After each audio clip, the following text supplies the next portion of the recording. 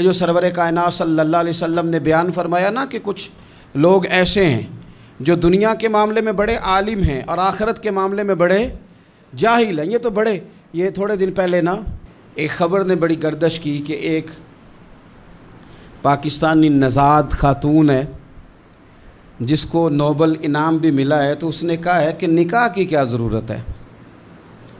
ویسے دو بندے اگر مل کے رہنا چاہیں معاذ اللہ پارٹنر بن کے زندگی گزارنا چاہیں، تو کاغذ پہ دستخط کی کیا ضرورت ہے؟ اور یہ نوبل انعام جس جس کو ملتا ہے نا، تو یہ ایسے تھوڑی مل جاتا ہے۔ اور کافر جس کو بڑی جلدی پناہ دیتے ہیں اور پلکوں پہ بٹھاتے ہیں یہ ایسے مفت میں تھوڑا بٹھا دیتے ہیں۔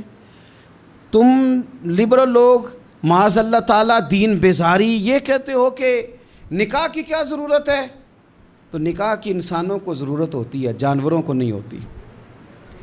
جانور جس کونے میں جس جگہ چاہتے ہیں، جو مرضی کرتے ہیں، لیکن جو انسان ہوتے ہیں نا، وہ پہلے نکاح کرتے ہیں۔ اور حضور نے فرمایا ان نکاح من سنتی۔ نکاح کسی غیر کا نہیں، نکاح تمہارے نبی کا طریقہ ہے۔ یہ رسول کائنات کا طریقہ ہے۔ تو یاد رکھیں کہ تم دنیا کے معاملات میں تو بڑے سمجھدار بنتے ہیں اور تمہیں بڑے بڑے انعام ملتے ہیں، تو آخرت کے معاملے میں جان بوجھ کے جاہل بن جاتے ہو۔ تمہیں ساری خبر ہے، لیکن تمہارا کوئی مخصوص ایجنڈا ہے۔ تمہیں جن چیزوں کے عوض خریدا گیا ہے، تم وہ پیسے پورے کرنا چاہتے ہو۔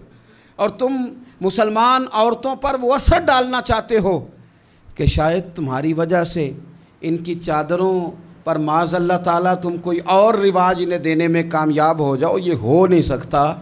اس لیے کہ اس امت کی بیٹیاں اور اس امت کی بہنیں اور اس امت کی عورتیں وہ زندہ ہیں تو سیدہ عائشہ کا نام لے کر۔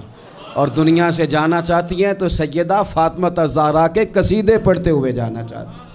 یہ ان کا مزاج ہے، یہ ان کا شوق ہے۔